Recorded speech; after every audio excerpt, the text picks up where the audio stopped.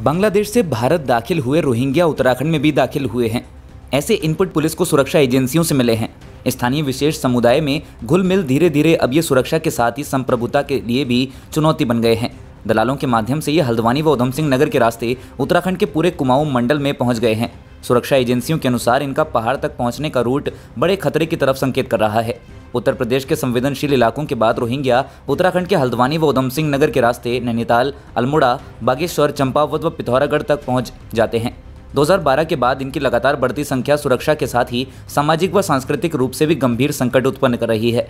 सुरक्षा एजेंसियों के इनपुट को गंभीरता से लेते हुए कुमाऊं पुलिस ने रोहिंग्या के खिलाफ विशेष सत्यापन अभियान शुरू किया है। इसकी ज़िम्मेदारी सभी ज़िले के सीओ को सौंपी गई है। डीआईजी खुद अभियान की निगरानी कर रहे हैं।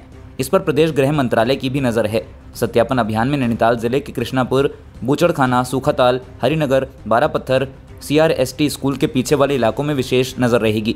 नैनीताल के साथ ही भीमताल, भवाली और रामगढ़, मुक्तेश्वर में भी पुलिस बारीकी से सत्यापन करेगी। डीआईजी कुमाऊं नीलेश आनंद भरने का कहना है कि सुरक्षा एजेंसियों के इनपुट के आधार पर पूरे कुमाऊं में हमने सत्यापन अभियान शुरू कर दिया है। दस्तावेजों की जाँच के साथ ही स्थानीय संपर्क, निवास का समय और कार्य प्रणाली पर भी नज़र रहेगी। एसएसपी नैनीताल पंकज भट्ट ने बताया कि ज़िले में रोहिंग्या समेत अन्य के सत्यापन के लिए सीओ को नोडल ऑफिसर बनाया गया है। मैं खुद पूरे अभियान की निगरानी कर रहा हूँ। पूरी रिपोर्ट तैयार कर डीआईजी को सौंपी जाएगी।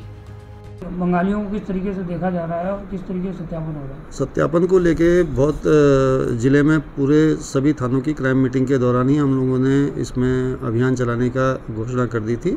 सभी थाना इंचार्जों को इसमें व्यक्तिगत रूप से इसमें एलआईयू की टीमों के साथ इन्वॉल्व किया गया और अभी तक तीन हज़ार से ऊपर हमारे यहाँ सत्यापन हो चुके हैं।